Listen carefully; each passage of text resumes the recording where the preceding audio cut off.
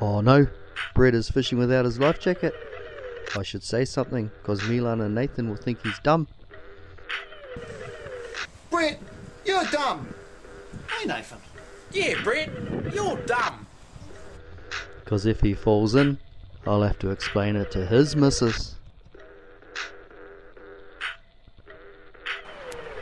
And if he dies, Ghost Brett will haunt me forever. Take my rod. Take my rod. You know I can't grab your ghost rod. Spoon! Spacehead! What are you doing, bro? I've been internalizing a really complicated situation in my head. What are you on about? I think you should put a life jacket on. Nah.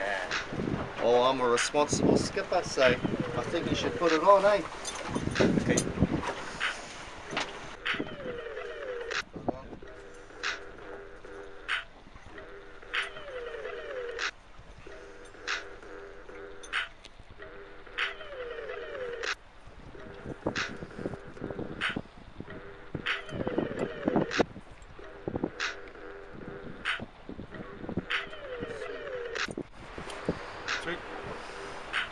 Choice.